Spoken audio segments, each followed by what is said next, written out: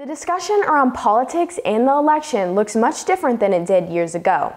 Access to the internet and social media has revolutionized the conversation, allowing access to information like never before. Now voters can be an active part of the political discussion. But especially with the rise of social media's political discourse, the line between opinion and fact has been blurred.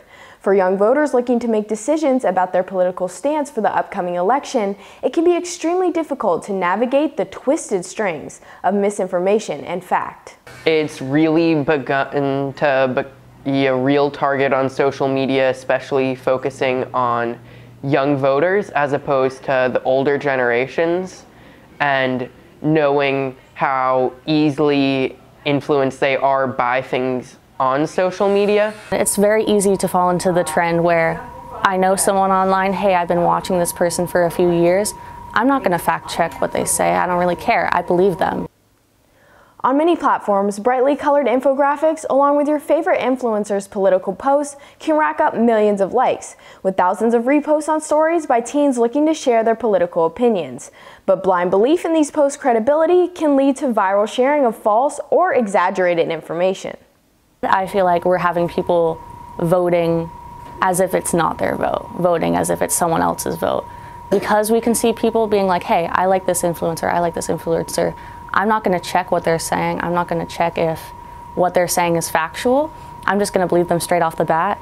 I think that a lot of teens really do focus on they see something, they like it, and if they want it to be shared everywhere, they'll repost it comment, do all things like that without really any regard to who it was or where it was from. Young voters putting trust into the amount of popularity of the post and not looking into the credibility of the information are not fully to blame for the problem. Social media platforms have come under fire for not taking the precautions necessary to do their part in controlling the spread of misinformation. Algorithms of the platforms favor posts with the most engagement, not the most credibility. You have a lot of the social media companies making algorithms so that people only see the things that they like.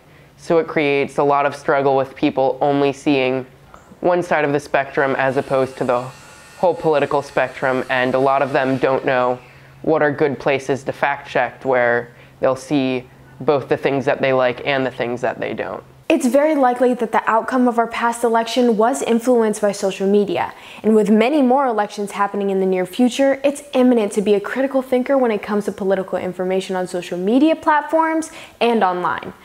Sources such as NPR News, the Associated Press, and Reuters offer neutral political news or balanced information. Social media can be a tool for learning about political issues and candidates for an election, but it's vital to remember that it's just a stepping stone for further research and isn't the finish line. For Roar TV, I'm Kaylin Herbet.